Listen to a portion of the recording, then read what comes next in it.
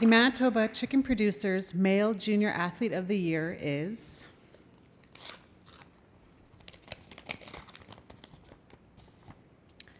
Brendan Shinnimin, hockey.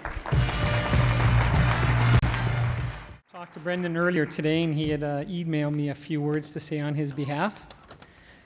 It is a great honor to be recognized as Manitoba's Male Junior Athlete of the Year. Unfortunately, I'm not able to be here as I am in the midst of a playoff run with the Portland Pirates of the American Hockey League. First off, I would like to recognize and congratulate all of the other nominees for this award.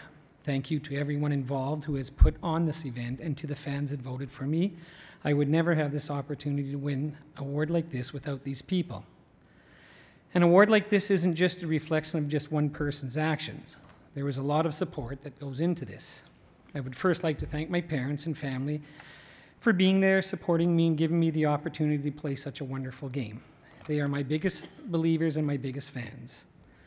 I would also like to thank Bob Tory and Jim Hiller, the GM and head coach of the Tri City Americans, for giving me the opportunity to play and to excel in the Western Hockey League with the Tri City American Hockey Club.